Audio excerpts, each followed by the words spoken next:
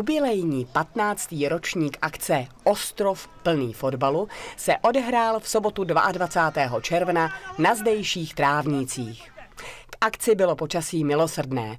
Od rána totiž silně pršelo, ale brzy se vyčasilo a celý turnaj nakonec proběhl bez problému. Je to určený pro děti od 6 do 13 let, je to 6 turnajů v šesti kategoriích a většinou hrajou ten turnaj 7 až 8 mužstev. To z celé České republiky nebo eh, z, z středočeský kraj, eh, bývalý západočeský kraj, ústecký kraj, takže jsou tady Teplice, jsou tady pražský týmy, samozřejmě z Karlovarska Slávě, Karlovy Vary, Baník Sokolov, eh, z Plzně, takže má to takový širší, širší dosah. Akce je vyvrcholením sezóny a také poděkováním pro všechny, kteří během roku klubu nezištně pomáhají. To gro, to se už vlastně organizuje od eh, začátku roku, od ledna, kdy zvete manšafty, tak je to na pár lidech, ale já musím tady Ostrov pochválit, protože je tady spoustu šikovných lidí, kteří pomáhají okolo, ať už je to se scháněním sponzorů, se scháněním eh, různých eh, cen.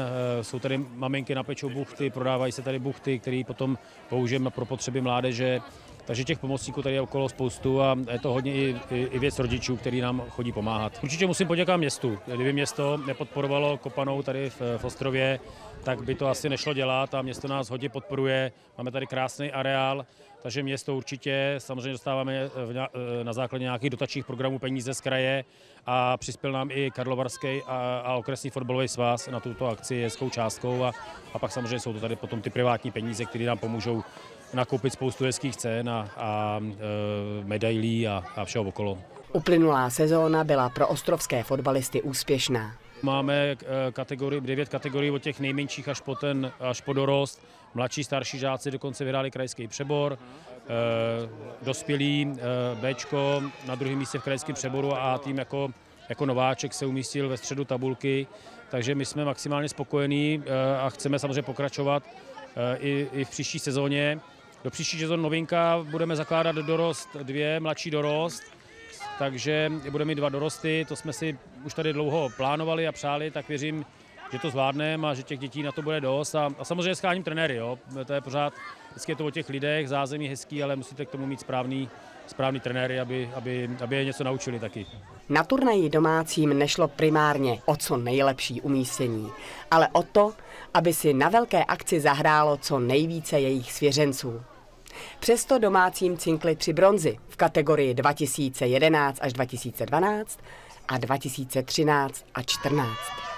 FC Slávia Karlovy Vary vyhrála první místa ve dvou kategoriích, stejně jako FC Ervěnice Jirkov. Po jednom triumfu brali malí fotbalisté z SK Junior Žatec a FK Teplice.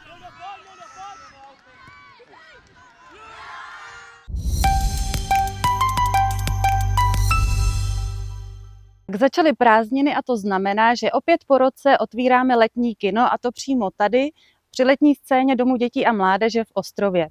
Promítat budeme každý pátek od 22 hodin, vstupné za každý film bude 100 korun. Zahájení letního kina bude českou romantickou komedií Sladký život, dále ale můžete vidět i filmy jako třeba Tři tygři ve filmu, Samotáři, Amélie z Montmartru a další. Celý program můžete najít na našem webu dk-ostrov.cz. Pro ještě větší zážitek jsme si pro vás také připravili drobné občerstvení. Bude se například točit pivo, rozlévat víno, limonáda a pro ty, co by chtěli kafe nebo čaj, tak bude taky připraveno. Doufám, že nám bude přát počasí a vy přijdete v co největším počtu s dobrou náladou a ještě z lepší budete odcházet. My se na vás těšíme, takže nezapomeňte v pátek letňák.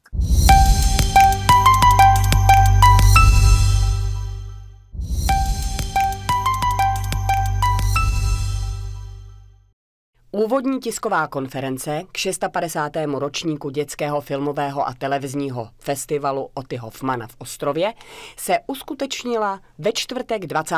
června ve zdejším Domě kultury. Letošní ročník, který proběhne ve dnech 22. až 27. září, se musí vypořádat s chystanou komplexní rekonstrukcí využívaných prostor. My jsme tlačili na město, aby festival proběhl, protože za poslední dva roky si myslím, že se podařilo festival posunout uh, opravdu o hodně dopředu a pro nás bylo zásadní, aby tento ročník proběhl stejně jako bude zásadní, když bude probíhat rekonstrukce, aby byl ten další ročník, aby nebyla pauza. A nám se podařilo ten program vlastně nakombinovat tak, že část se odehraje uh, v kinosále, který je pro nás důležitý. To, že nebudeme tady v kinokavárně, nám úplně tak nevadí, protože uh, v Ostrově jsou zhruba dva, tři, dvě, tři další místa, kde je možné eh, festival uspořádat a projekce udělat dokonce pro větší množství dětí, než skýtá třeba kinokavárna, což pro nás bylo velkou výzvou. A tak můžu říct, že budeme na takzvané Vejškovce, tam bude část projekcí, budeme na třetí základní škole, která bude mít novou aulu, tam budeme dělat část seminářů a část projekcí také, vracíme se zpátky do knihovny, eh, takže využijeme ty prostory, které tady jsou a které možná i historicky k festivalu patřily. A my jsme možná ty poslední dva roky trošku sobecky se soustředili pouze na ta naše místa, tak mám velkou radost, že půjdeme letos i trošku jinam. Zástupci organizačního týmu představili hlavní téma celé akce.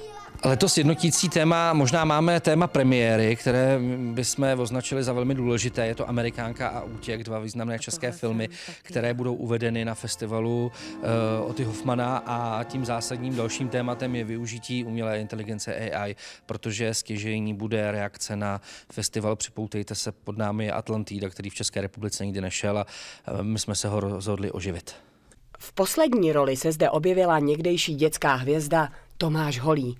A protože je seriál v Němčině, rozhodlo vedení festivalu o nadabování pomocí umělé inteligence AI. Na toto téma také proběhne seminář Rady pro rozhlasové a televizní vysílání.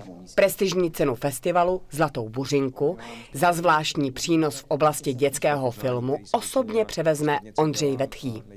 I letos bude udělena speciální cena hejtmana Karlovarského kraje, kterou získá český scénárista, dramatik a režisér Zdeněk Zelenka u příležitosti životního jubilea.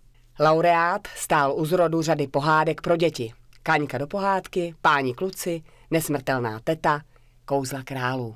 Kromě spolupráce s Českou televizí, Českým rozhlasem a televizí Nova nebude na festivalu chybět ani filmová a mediální laboratoř a projekce v dalších městech. Letos ten zájem je velký, ten první ročník eh, se potýkal s takovou tou takovým tím odstupem, kdy vlastně učitelé nevěděli, eh, o co jde. Často jsme slyšeli, je to další z řady projekcí a my jsme jim vysvětlovali, že není, že se snažíme právě, aby děti byly aktivně zapojeny i mimo ostrov ve Varech i v Sokolově, takže jsme jim ukázali pracovní listy eh, k filmům, vysvětlili jsme jim, že děti hlasují, vysvětlili jsme si jim, že přijedou, přijedou delegace. Po každé projekci, budou děti besedovat, ať už s herci, anebo třeba z psychologie odborníky na sociální témata a to myslím, že se učitelům líbilo natolik, že letos jsme dokázali termál zatím vyprodat dvakrát. Další představení, které budeme prodávat, bude pro veřejnost, tak věříme, že i tam budeme úspěšní. Ehm, bavíme se o největším sále v České republice a dokázali jsme bohatě naplnit projekce v Sokolově, kdy už nemáme místa a přitom zájem by ještě byl.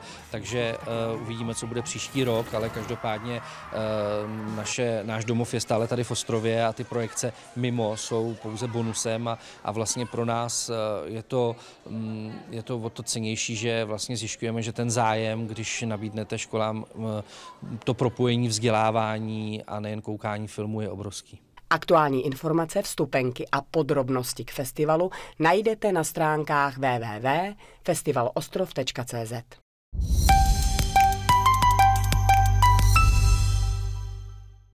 Jen tři dny po velkých oslavách 70 let Gymnázia Ostrov, kdy zařízení navštívili stovky lidí, se v úterý 25.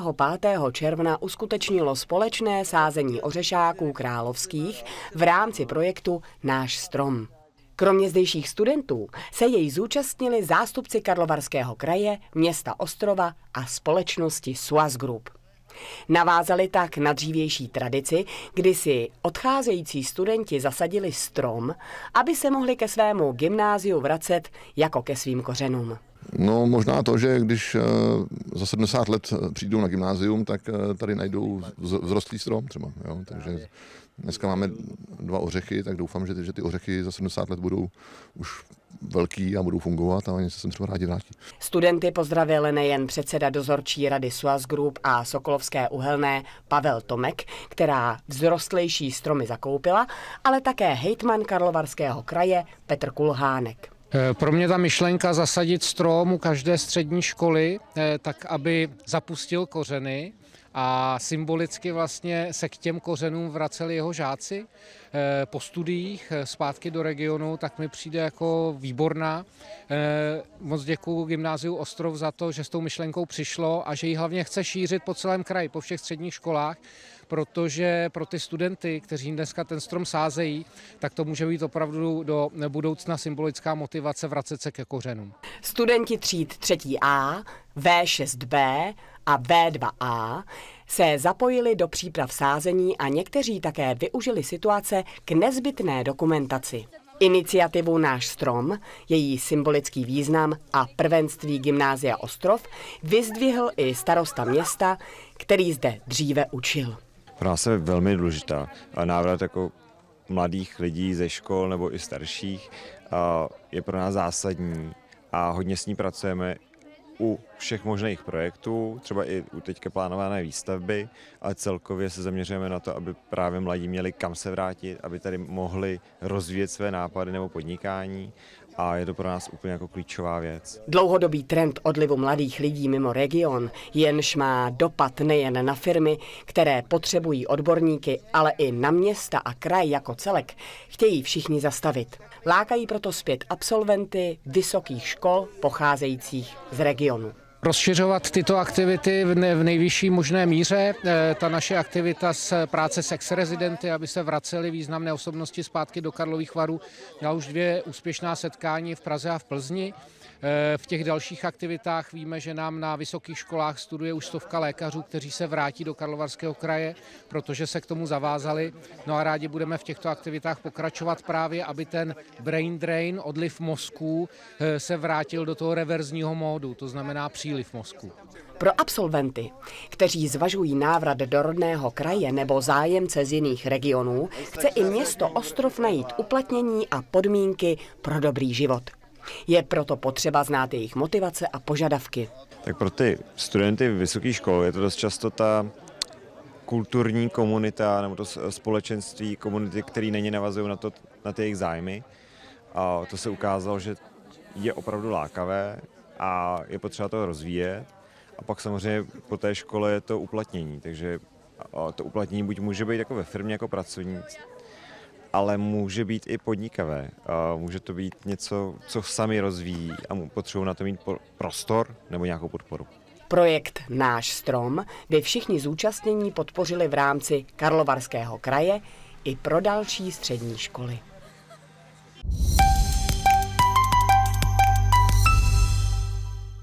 Budete se možná divit, ale Ostrovský zimní stadion je otevřen i v létě.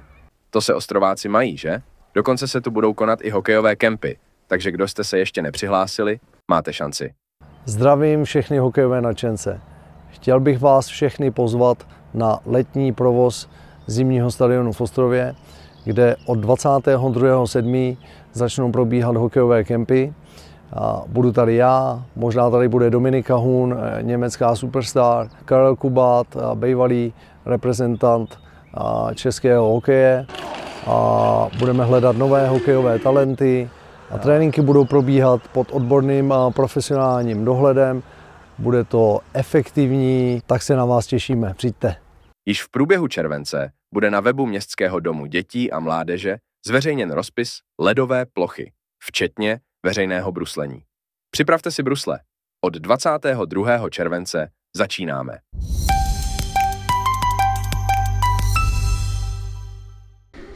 Na základní škole Myslbekova v Ostrově proběhl projektový den. Akci na téma mediální vzdělávání a dezinformace pořádal dětský filmový a televizní festival Oty Hoffmana. My máme dneska projektový den mediálního vzdělávání pro šestou třídu a věnujeme se ověřování informací, poznání dezinformací a manipulací a děti tady mají program na čtyři vyučovací hodiny. A teď zrovna plní úkoly od organizace Fakescape, kde dělají hru Desinfombies a snaží se najít vakcínu proti viru, který dělá z lidí nemyslící bytosti takzvané Desinfombies. Žáci plní úkoly, ve kterých eh, se učí ověřovat informace, najít o, chyby na fotografiích nebo nějaké zmanipulované fotografie, naučí se orientovat se v textu, v nějakém dlouhém, protože když si něco čteme, tak se třeba nevšimneme všeho a potom můžeme mluvit o něčem, že něco se stalo nějak, ale bylo to trochu jinak. O, takže se tady učí takovéhle základní jako kompetence, o, které jim rozvíjí kritické myšlení a pak se o tom s nimi budeme ještě víc bavit. Ještě přijede pan lektor z jednoho světa na školách, kde se budou věnovat stejnému tématu, o, taky mediálnímu vzdělávání, ale bude to trochu jinou formou, budou si pouštět dokumentární filmy a povídat si o tom, co v nich viděli a věnovat se taky konspiračním teoriím a tomu, proč a jak se vlastně šíří dezinformace.